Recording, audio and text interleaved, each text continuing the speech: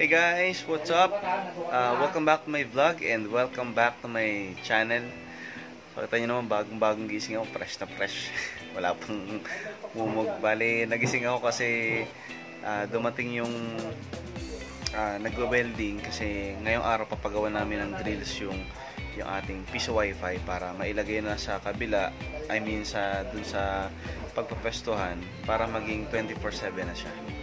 Kaya yun, samahan niyo ako guys habang ginagawa yung grills. Let's go!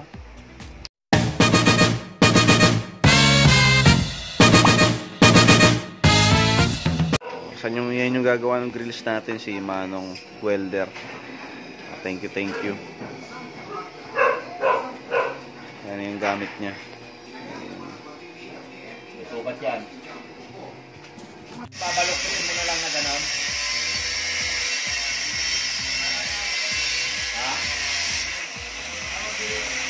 Habang ginagawa, ano po tayo almusal, hindi pa kumain.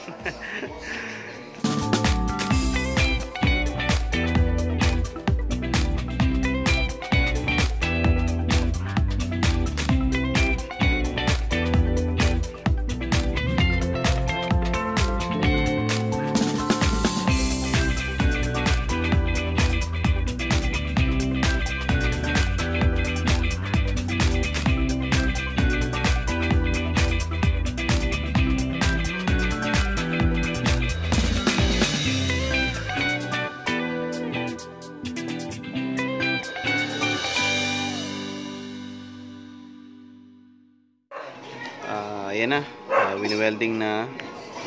Masakit sa mata kaya papasok na muna tayo. A few minutes later.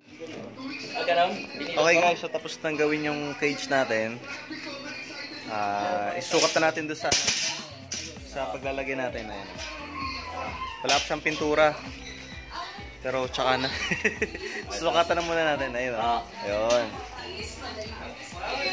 So ayun guys, temporarily dyan siya nakalagay mga ilang araw. Pero ngayon, ito na siya. Ikakabit na natin siya dyan sa dingding para talagang nakalabas na, outdoor na. Tsaka advantage niya kasi, pag nasa labas, yung router, since indoor yung router, mas malayo na yung range niya.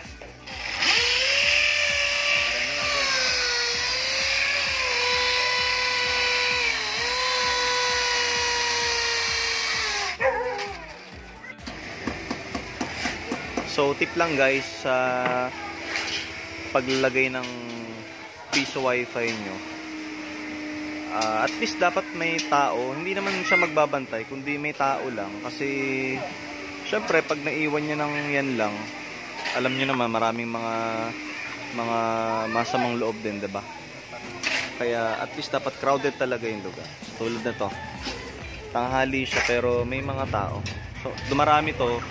Um, paghapon, yan, paglabasan na, tapos hanggang gabi na yan, yung mga tambay. Minsan umabot hanggang madaling araw. So, yan guys, nakabit na. At nakasaksak na ulit siya.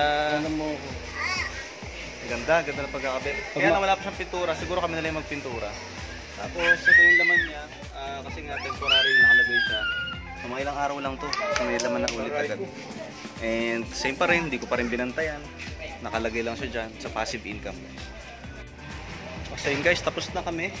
Ah, nakabili na rin ng bagong lock kasi kailangan dalawa na yung lock. Isa dito, tsaka para sa mismong piso wifi. Tapos yung tarp, dyan pa rin siya.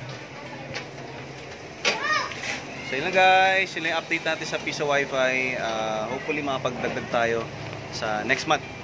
So good luck sa negosyo natin at sa mga nagbabalak din. Ah, good luck din po sa inyo. Comment down kayo kung meron kayong mga tanong at ah, kung balak nyo rin mag, mag-order. Pwede tayo mag-order sa, sa pinsan ko for only 13,000 pesos.